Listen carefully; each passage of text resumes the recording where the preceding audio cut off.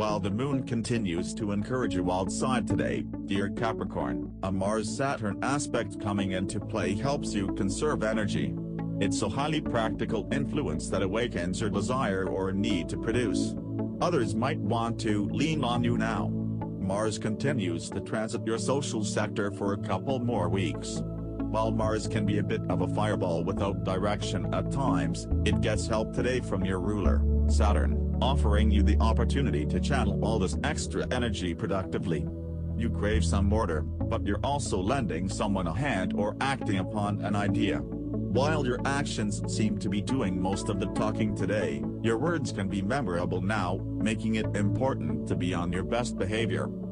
Creativity, good love, excellent business, excellent.